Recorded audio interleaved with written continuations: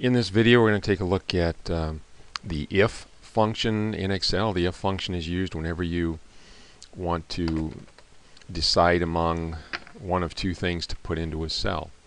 Uh, sometimes uh, what goes in a cell may vary depending on some other condition someplace else on the spreadsheet. And so sometimes you may want to put one value in and other times you may want to put a different value in.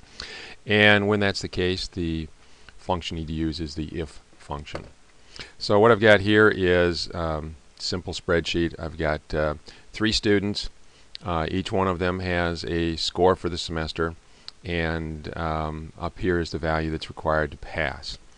And uh, what I want to do is I want Excel in these three cells here I want Excel to look at this number compare it to this number and if this number is greater than or equal to this number I want the letter P in there and if it's not I want the letter F P for pass and F for fail. So, um, looks like uh, we should get a P for George, we should get a P for John, but we should get an F here for Thomas. Uh, let's go uh, put some formulas in. Um, we're going to be using a function. If you want to use a function, uh, you can get to all of the functions from the Formulas tab here. So let's click on the Formulas tab. And there's going to be a book for uh, each category of function. And um, the if is considered a logical function. Uh, logical functions have to do with making decisions.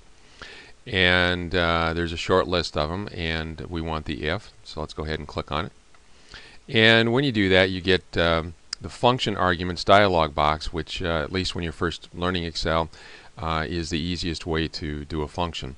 Uh, it comes up with a list of the arguments to the function, a little description of what the function does, and um, the function arguments over here on the left are, are all labeled.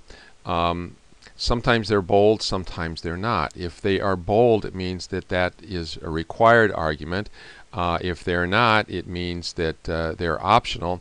However, with the if function, you're almost always going to use all three of these. So technically, these you know these will give you a default value uh, if you don't put anything in, but uh, in real life, you're almost always going to put something there. So it wants to know what our logical test is. Okay, so let's drag this over to the side here a little bit.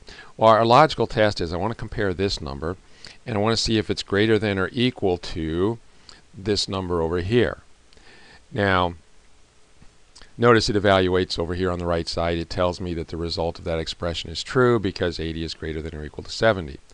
Now, I'm going to want to copy this formula. I don't want to type it in three times. And if I had 100 students here, I certainly wouldn't want to type it in 100 times.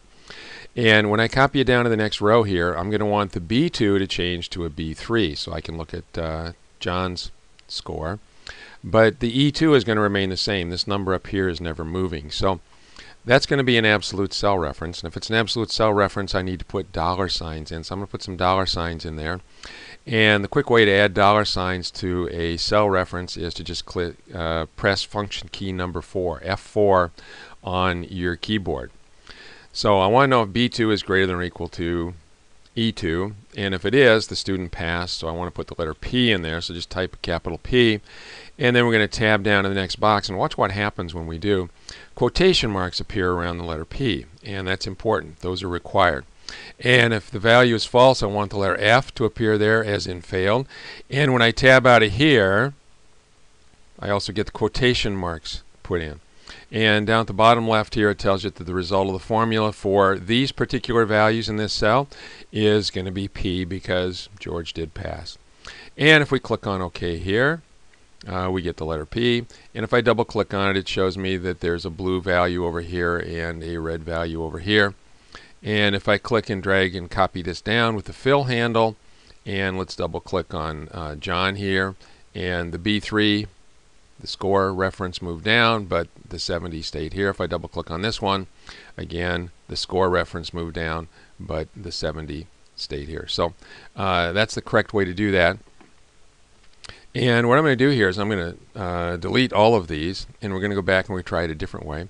Uh, let's go to C2 here, and I'm going to type it in instead of using the um, function arguments dialog box. And once you've used a function a few times, you can usually uh, just type it in and it'll probably go a little bit faster. I know the name of the function is if, so type if, and functions always have an argument list in parentheses, so I start with the left parenthesis. And then it wants to know what the logical test is. And it comes up with this little um, list here that helps you remember what the arguments are if you can't remember. And the first one is a logical test. And the logical test is going to be, uh, is B2 greater than or equal to E2 and then press function key F4 again to put the dollar signs in. And if it is, put the letter P in there. And this time I have to type the quotation marks myself. And if it's not, the value of false here is going to be the letter F. Close the argument list with a parenthesis, hit the enter key, and it tells me that George passed class. I'm going to get my fill handle and copy that down, and I get the same results I did before. Uh, it's exactly the same. Um, the formulas in here exactly the same. I just created the formula differently by typing it in myself. Now there's one thing I want to take a look at before we end this video and that is if I go up here and what if I forget to type in the quotation marks? Now when you use the function arguments dialog box it uh, puts quotation marks in for you but if you type it in yourself it does not. You have to remember to put them in. So I'm going to delete those quotation marks and we'll see what happens. And what happens is I get this error and um, Excel indicates that there's a problem um, by putting an error message in big capital letters. Um, it starts with a pound sign, ends with a question mark, and what it's asking me is it doesn't it doesn't know what this is. Um, if you see the word name there, it means that there's a name that it does not recognize. Okay, uh, it recognizes if because that's a built-in function. Um, and um, anything in quotation marks is just supposed to be the actual text that's in there. But if it's if it's a letter or a word and it's not enclosed in quotation marks, then Excel basically thinks this is another function, but it can't find a function on its list of functions called plain old P. And um, so you have to make sure to put quotation marks around it. So let's put, and I messed that up. Let's try that again. Um, put quotation marks on both sides of the P. And now it doesn't think that that's the name of something. Now it knows that it's just supposed to put the letter P in that cell. So that's the if function. Um, three parts to it. And by the way, if you want to go back and edit uh, after you've created the function, uh, there's two ways to do it. You can just go up here and click. Actually, there's three, I guess. You can double click down here and edit right in the cell. Or you can click on this little FX here to the left of the formula bar, and that will bring up the function arguments list. So that's the way the if function works. Anytime you want to make a decision about what to put in a cell, um, use the if function. It, it, requires a logical test, the value you want to go in if true, and the value you want to go in if false. And we'll look at something called nested if functions in another video. That's if you have to decide from among more than just two values to put in if you need to decide among three or four or more.